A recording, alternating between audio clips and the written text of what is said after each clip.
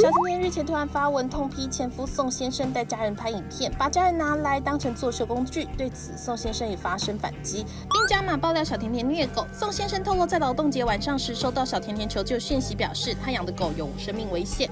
从喉咙到肚子都裂开，喷了很多血。但小甜甜没有送医，而是用尿布止血，因为她隔天要到保姆那边，之后要去林口拍戏，没空带狗去看兽医，因此要宋先生帮忙。对此，也让宋先生指控小甜甜有虐狗嫌疑，认为她害狗狗受伤整夜没有就医。而当记者询问小甜甜时，她则无奈表示是前夫的干哥到处乱放消息，他已经把医生证明、院长电话都给经纪人，叫他们自己去求证，这样最准。也祝对方演艺事业跟 YouTube 订阅一路长虹，同时也替。装爱狗活蹦乱跳的影片，并反问：“如果虐狗两三天，狗狗会活跳跳吗？”要对方撒谎，也要有尝试，再度与网上引起热议。